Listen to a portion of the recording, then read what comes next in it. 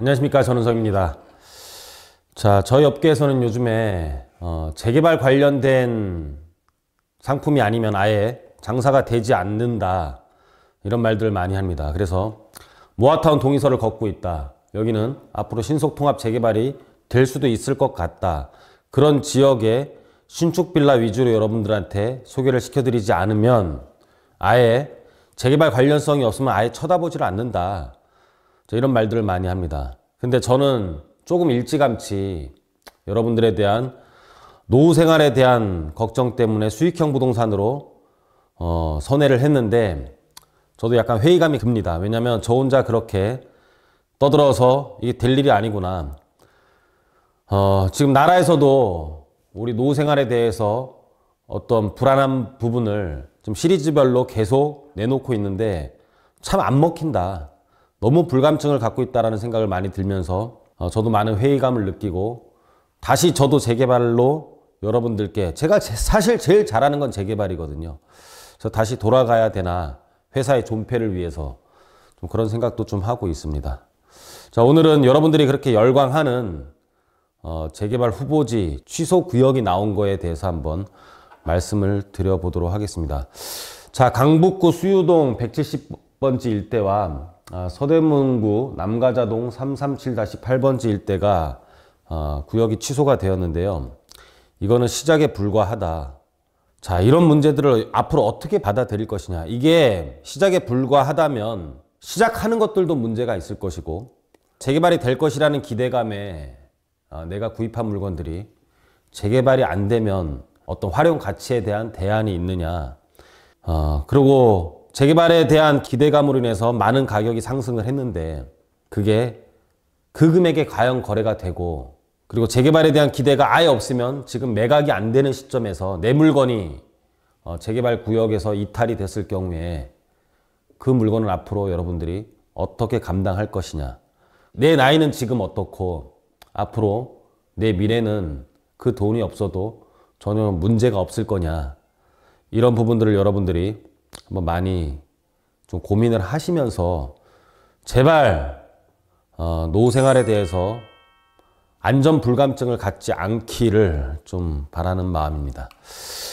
자, 여기에 대한 내용을 읽어보면은요.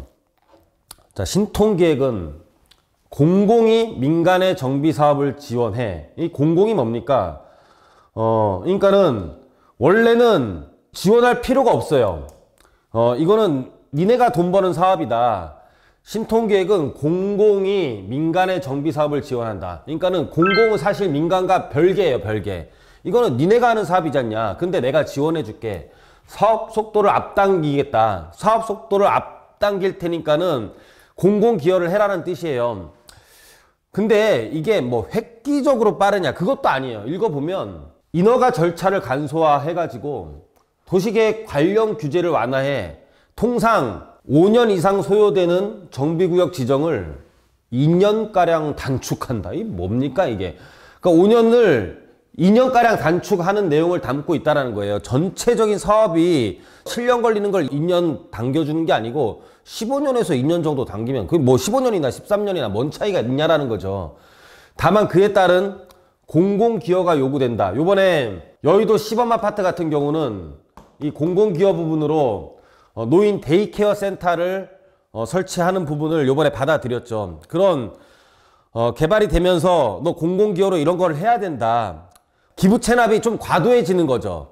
어, 원래 이만큼 기부 체납하면서 용적률을 받았는데 더 많은 공공기여를 요구를 하는 거예요.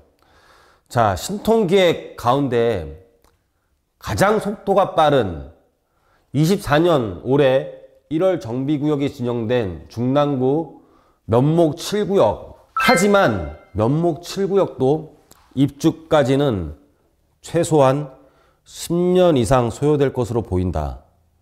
결과적으로 신속 통합 기획이 신속이죠. 신속. 신통 기획이 제 이름값을 하지 못하는 셈이다. 여러분들이 아마 인터넷에서 재개발 구역 기간 단축, 재개발 간소화 뭐 이런 단어로 인터넷에 찾아보시면은요.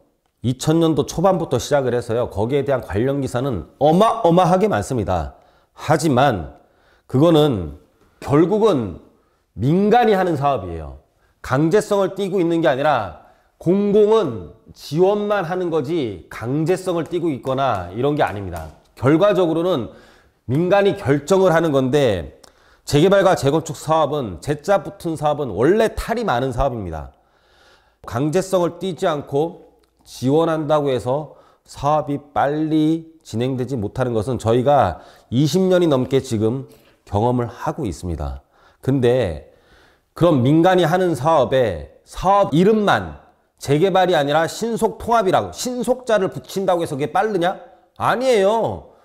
우리 일반 버스에 신속 버스라고 이름만 바꾼다고 가정합시다. 그럼 뭐 버스가 막, 막, 막 빨리 달리, 달립니까? 아니잖아요. 아, 말이 빨라지네.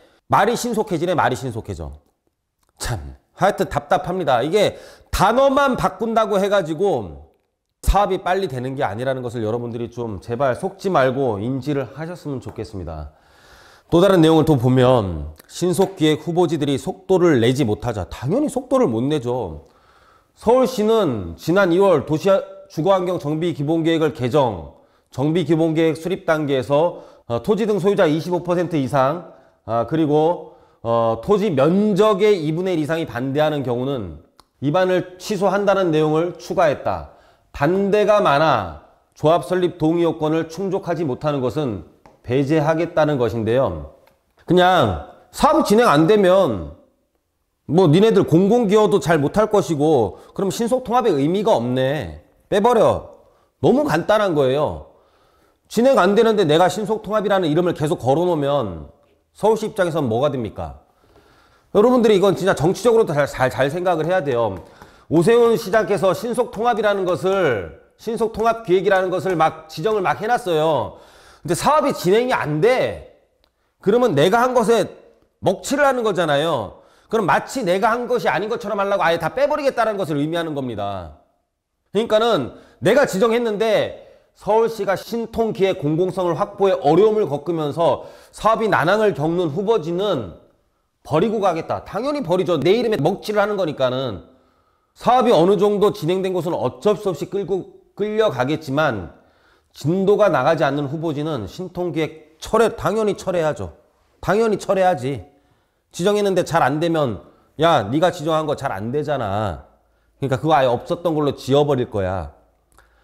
이런 내용이에요. 근데 우리가 투자를 잘못했을 경우에 물론 시간이 지나서 예전에도 정비구역이 2004년도에도 정비구역이 막 지정이 됐습니다. 그런 것들이 또 취소가 되고 다시 또 최근에 지정된 곳들도 있긴 있어요. 20년이 지나서요. 근데 여러분들 이렇게 해서 철회되면 또 시간이 되면 또 지정될 수는 있습니다. 그렇지만 그 기간을 여러분들이 잘 참을 수 있겠냐라는 거죠. 그리고 그 안에 그 돈 없이 잘 살 수 있겠냐라는 거죠. 그게 취소가 됐을 때 그 물건에 대해서 여러분들이 어떤 또 대안을 갖고 있는, 있습니까? 들어가 사실 거예요? 어떻게 할 겁니까? 그래서 여러분들이 항상 항상 좋은 내용만 보고 장밋빛을 보고 최선을 생각하면서 투자를 하는 경우들이 많은데요. 사실 투자는 최악을 생각하고 투자를 또 해보셔야 됩니다. 재개발 앞으로 여러분들이 그렇게 원한다면 재개발에 대해서 솔직한 내용들을 여러분들께 어, 방송을 많이 해드리도록 하겠습니다. 자, 신속 통합. 자기의 정책에 대해서 본인이 질타를 받지 않기 위해서 슬슬 지우개 작업에 들어갔습니다. 여러분들 투자에 좀 더 신중하시고요. 어, 여러분들이 정말로 될 만한 곳들을 잘 선정하셔서 투자해서 제발 노후에 돈 없어서 힘들게 살지 않기를 바라겠습니다. 자, 오늘 강의는 여기서 마치도록 하겠습니다. 감사합니다.